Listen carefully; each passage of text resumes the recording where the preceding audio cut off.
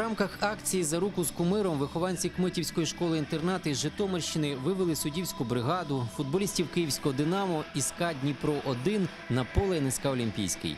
У центрі уваги 16-тисячної аудиторії опинились діти у спеціальних футболках та капітани команд Сергій Сидорчук і Сергій Кравченко.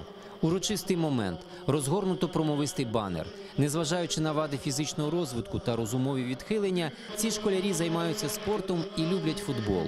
Це акція солідарності з особливими дівчатками та хлопчиками, що беруть участь у спеціальній олімпіаді. І для футбольної спільноти важливо їх підтримати на шляху до великої мети.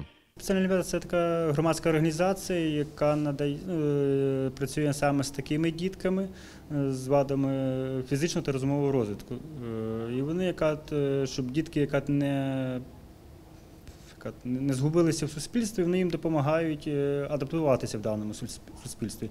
І тому певні роки проводять різноманітні ну, види змагань серед саме таких діток. За допомогою цих змагань вони між собою більш спілкуються, один одного, як вже мають друзі.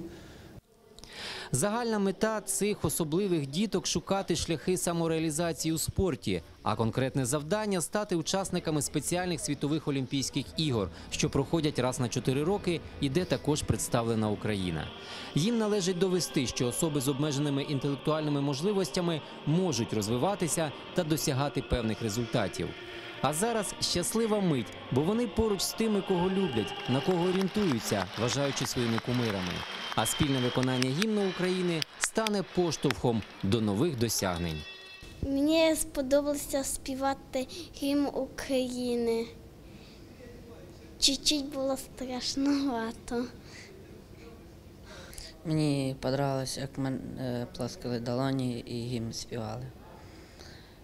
Ну, це дітки від е, першого класу і до сьомого класу.